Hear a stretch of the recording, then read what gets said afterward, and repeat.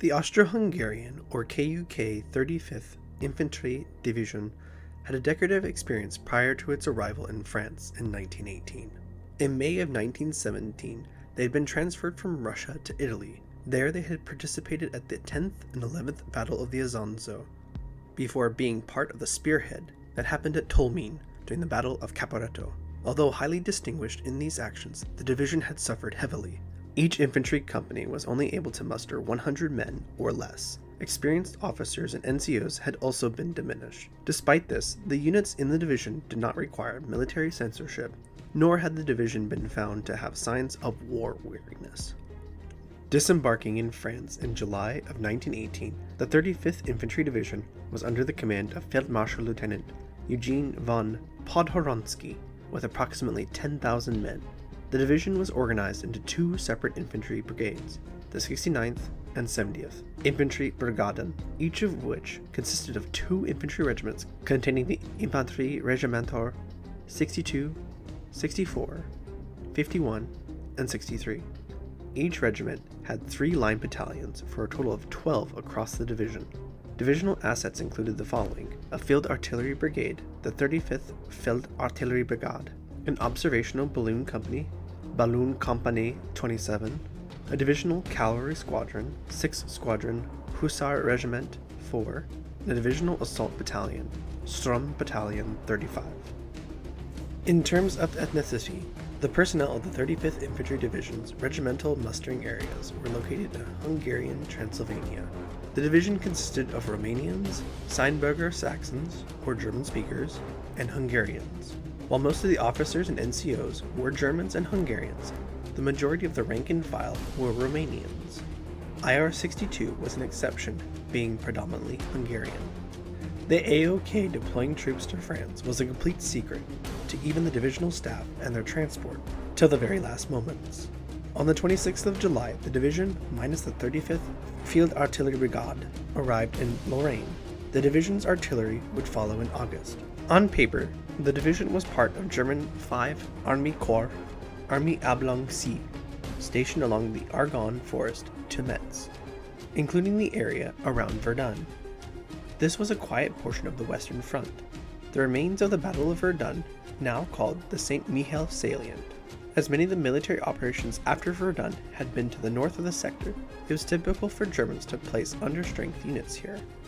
The St. Mihiel Salient included various rocky ridges, dense forests, thick shrubs, dirt trenches, and a sprinkling of man made military structures. These German defensive structures were a mixture from that of the course of the war. Each depleted German unit that had been stationed there seemed to have added something to the defenses. While the area was clogged with these strong points, these had not been prepared and made the positions lack cohesion, causing confusion and poor communications for the defenders. That said, the Entente had not made an attack on the salient by 1918. After a cursory training period of only two to three weeks, Army C transferred the 35th Infantry Division to the front in early August near the village of Bengüls, manning a 9 kilometer long section of the front. The plan was for each regiment to man various parts of the line at different times for a defense in depth strategy. This never came to be as the area was so littered with different objectives and no trenches dug by the Germans previously stationed there. The division instead went to digging in even before they saw combat. This wasn't the last damage the Germans would do to their Austro Hungarian allies of the 35th Infantry Division.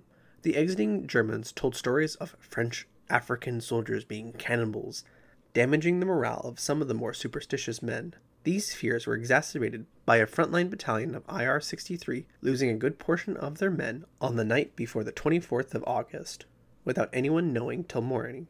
Despite the men being terrified to go on German night patrols after this incident, they were able to report to divisional command the French opposite of them, the French 2nd Cuirassier Division, was in a similar military state, with little defenses.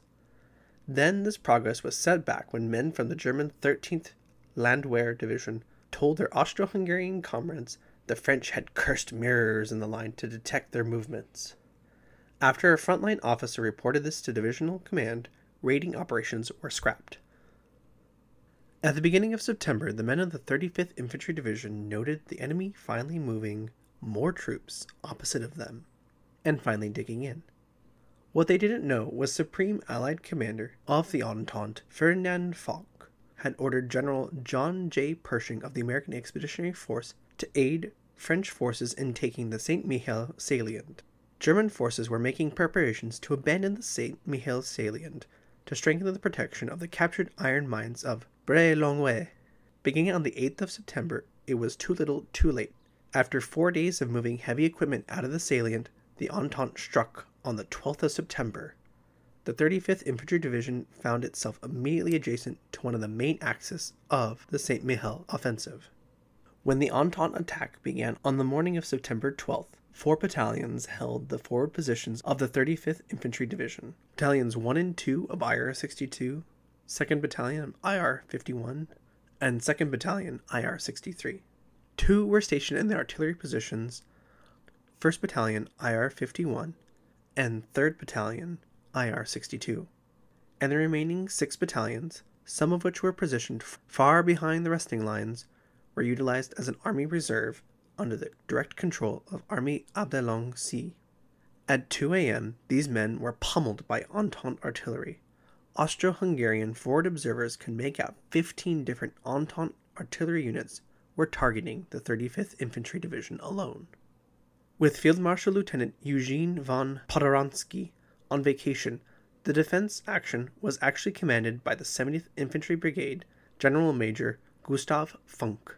Despite the entire division being carpeted by artillery, at 3 a.m., it was clear the enemy fire was attempting to focus on their right flank, where the 35th Infantry Division sat next to the 13th Landwehr Division. Funk, in conjunction with the Army's orders to abandon the salient, had been attempting to evacuate the division, but the Central Powers' confusing defensive lines now exacerbated by Entente destruction, the evacuation was only still in progress. At 7:40, the enemy artillery slackened on the division's front lines, only to begin to heat up in the division's rear. Funk ordered the division to man the front lines at 7:50. American soldiers began to assault. Although repelling the first two American waves, the 3rd was able to capture sections of the 35th Infantry Division's line. Funk in the afternoon was made aware of the Germans to his north. The 13th Landwehr Division was dissolving. Funk, at 1:30 p.m., ordered the men of the 69th Infantry Brigade to refuse the right, just as he got a call from the German commander to the south. The German 192nd Infantry Division was withdrawing. This would expose the division's south flank in turn. When Funk regained communications with the 192nd Infantry Division, the operator interrupted the Austro Hungarian general. Pardon me, I must interrupt. There are tanks here.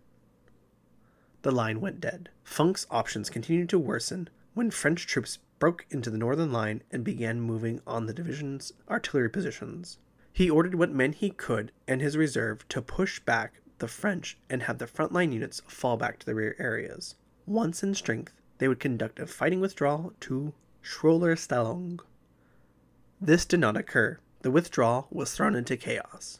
The division and brigade staff were unable to maintain communications for the rest of the 12th of September with their own units. Sections and companies of men would have to counterattack the patchwork of eclectic German various defenses in the dense woods to continue the withdrawal. But the Entente had good communications, and the lower level officers knew the ground better than the Austro Hungarians, leading to small groups being ambushed and in some cases wiped out. At one point, the 69th Infantry Brigade prepared a counterattack with two fresh battalions and various smaller units to attempt to counterattack to retake the abandoned Austro Hungarian trenches. Funk, luckily enough, was able to intervene and cancel the counterattack orders. Throughout the afternoon, various units of the 35th Infantry Division made their way to Schroeterstellung. At 6:30, Army Command ordered the 35th Infantry Division and the 13th Landwehr Divisions to Michelstellung. Funk ordered IR-64, the regiment most intact, to occupy the light defensive line. The other regiments were given assembly areas for the retreating units to rally at. The rest of the 12th of September did not incur any more devastation, but the 13th of September the 35th Infantry Division was constantly strafed by American aircraft. Until the 18th of September, IR 51 and IR 62 numbered only a battalion each. For now, the entire division was expected to man a shorter area of 4.5 kilometers. but sported no barbed wire, only a slit dirt trench in the dense forest, and contained three hill like features. Funk conducted light offensive operations to screen his men from enemy operations, and to give space for forward observation posts to be established. Both the 35th Infantry Division and the 13th Landwehr Division were able to use their artillery to push American units opposite of them back two kilometers. This was small comfort as the Entente had achieved the objective of crushing the St. Mihiel salient. The 35th Division had lost 99 officers and 3,268 other ranks, 102 machine guns, 10 artillery pieces, 33 mortars, and 19 howitzers. But under General Funk, the division had survived the deadly Entente mauling. On the 21st of September, Kaiser Wilhelm himself visited the Army headquarters. The Kaiser greeted the 35th Infantry Division officers at the HQ and some Austro Hungarian casualties at the local hospitals. On the 23rd of September, 14 officers and 620 other ranks as reinforcements from the 34th and 60th Marschbataillon helped bring the divisional manpower up. For the remainder of the war, the Austro Hungarian soldiers continued to straggle back to their own lines. Over time, the four infantry regiments were able to re achieve their three battalion status. Light patrols and return artillery fire dominated their front line until the 11th of November, ending their wartime service. But of the 10,000 men that on the 26th of July opened their train car doors to a secret unknown location and fought for their empire, less than 7,000 survived till the armistice, and none of them would return to the Austro Hungarian Empire.